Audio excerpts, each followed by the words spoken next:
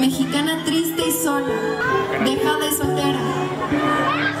La conocida dinastía Aguilar se fue unos cuantos días a París a descansar, principalmente después del escandalazo que se dio a conocer, filtrándose las fotos de Ángela Aguilar y su supuesto novio, el compositor mexicano Gusi Lau. Las fotos no solamente destaparon que Ángela estaba teniendo una nueva relación, sino que también se supo que este compositor es 15 años más grande que Ángela, por lo que todo el mundo empezó a preguntarse, ¿por qué un señor de 33 años se estaría fijando en una jovencita? ¿Y cómo es que Pepe Aguilar, siendo tan protector con su hija menor, le haya dado permiso a este hombre de estar con su chiquita bebé. A través de un video, el propio Gusilao confirmó que sí tenía una relación sentimental con Ángela desde mediados del mes de febrero. Él aseguró que esas fotos, una persona cercana a él, las sacó a partir de un video que él subió. Ahora, tras un largo periodo de silencio, quizá para evitar las preguntas en torno a este escándalo, Ángela reapareció dando un concierto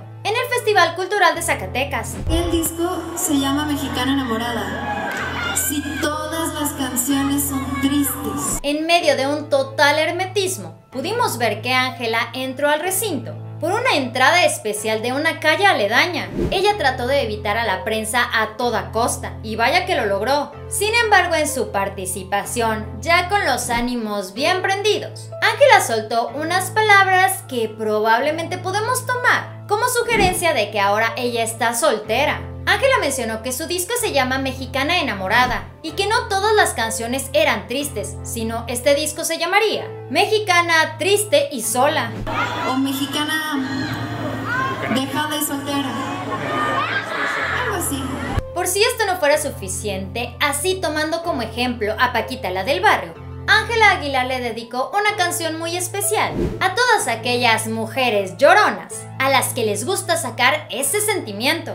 Y esa canción va dedicada para todas las lloronas. Probablemente con estas palabras Ángela Aguilar está haciendo alusión a su vida privada, por lo que no faltaron los comentarios asegurando que su relación con Gusilao llegó a su fin después de tremendo escándalo. Además, es importante sacar a flote también los comentarios de José Manuel Figueroa, el hijo de Joan Sebastián, que de hecho es gran amigo de Gusilao, a través de una entrevista dijo que él ya conocía la relación del compositor mexicano y Ángela porque él, al igual que muchos compositores, eran muy chismosos. Él dijo en la entrevista que deseaba que el amor triunfara, que se le hacía una pareja muy bonita. Él aseguró que amaba la relación en tiempo pasado, por lo que también dio a entender que efectivamente la relación había llegado a su fin. Debido a la gran cercanía que tiene con Gusilao, José Manuel aseguró que él ya conocía ese noviazgo.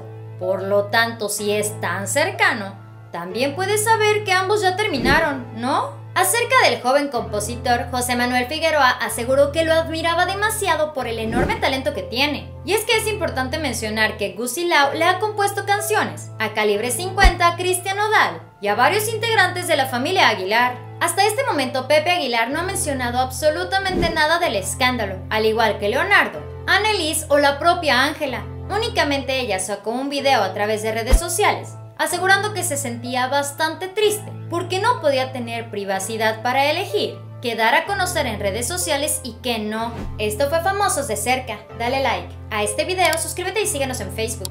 Espero que tengas un excelente día. Nos vemos muy pronto. Bye.